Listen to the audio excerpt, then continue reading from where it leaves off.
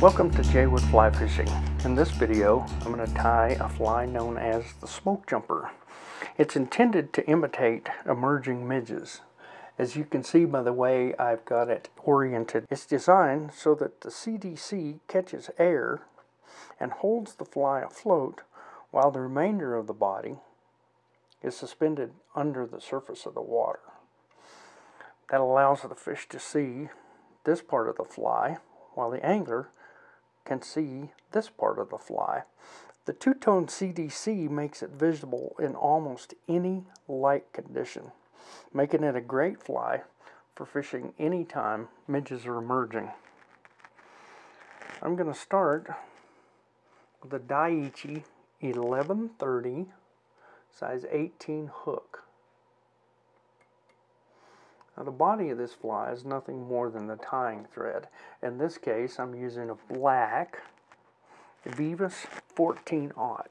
I like the really small diameter of this thread because it keeps from building up too much bulk at the tie-off point of the CDC puffs which create the wings. I'm going to bring that thread down to the curve of the hook and then bring it right back up to a point about a third of the way back between the eye and the bend of the hook. Now when you're selecting your CDC for this, make sure that you get puffs. Puffs look something like this. They have long barbs that radiate from a single feather root. CDC feathers, on the other hand, have shorter barbs radiating from a very long stem through the center of the feather. Since the top of our wing is going to be black, I'm going to start by tying the black CDC puff onto the fly first. Now from the tie-off point to the end of the hook, I want it to be about twice the length of the entire hook. I'll mark that with my thumb and set that in place with a couple loose wraps. Pull that up and make sure I'm at the position that I want it to be, which we are. I'm going to give that a couple more wraps, moving forward, and then clip off the butt. Now bring the thread back to that tie off point and then put our natural dun CDC puff over that. I'm going to start off by lining up the tips. Hold that in place and then lock that down with some good solid thread wraps and clip off the butt. move that back and get a little bit more because that's going to crowd our eye, which we do not want to do on this particular fly. Then make a solid thread base there.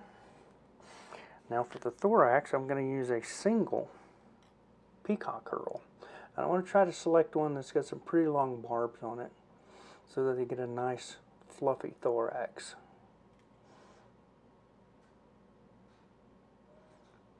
Tie that in wrap it down to just behind the eye of the hook and then just wrap this thing kind of gently in the beginning. You don't want to snap it off. And then make enough wraps to fill up that thorax gap between where we tied off our CDC and the eye of the hook where the thread is hanging. Now to tie that off I'm going to come up behind the peacock in front, behind, one more time, and then in front.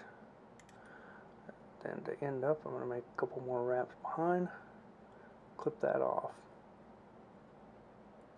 Now that's positioned my thread exactly where I want it to be. From here, all we do, get those CDC puffs between our fingers, fold it over,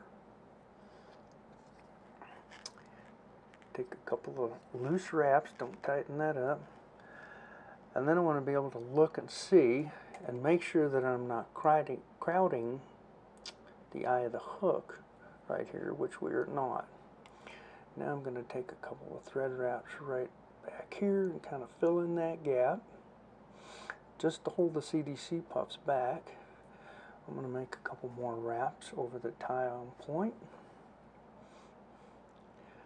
Make one wrap there, then get my half hitch tool, start with a single half hitch, a double half hitch, another double half hitch, and that'll do it. I'm to trim off the thread, and that's our smoke jumper.